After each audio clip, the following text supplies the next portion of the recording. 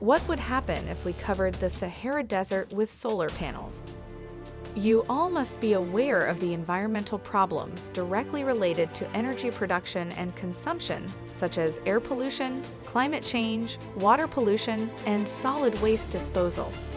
The only feasible solution to this is renewable energy, such as wind, hydro, and solar. So in this video, we are going to tell you what would happen if we try to cover Sahara Desert with solar panel.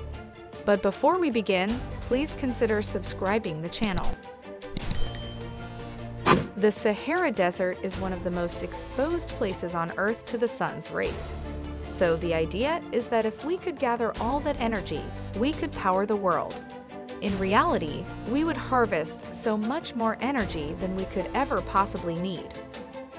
Solar panels covering a surface of around 335 square kilometer would actually be enough to power the world.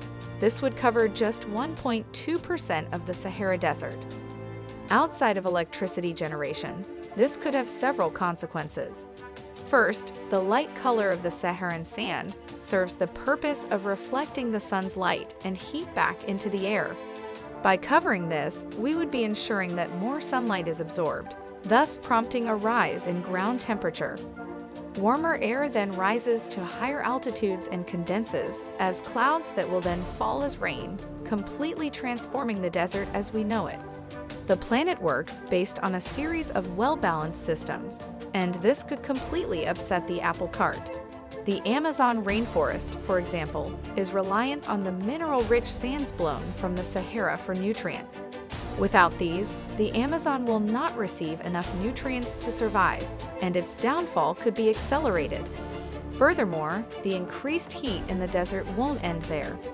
It will be transported worldwide through weather systems, resulting in less rainfall for the Amazon and more unstable weather in regions such as North America or Asia. We don't need 100% of the Sahara to be covered in solar panels. Even 20%, which is the amount that would kickstart these impacts, is not needed. Instead, a series of smaller solar farms covering 1.2% of the surface should be enough to generate enough electricity without having such extreme impacts on the environment. So guys, let us know your thoughts on this idea in the comments section.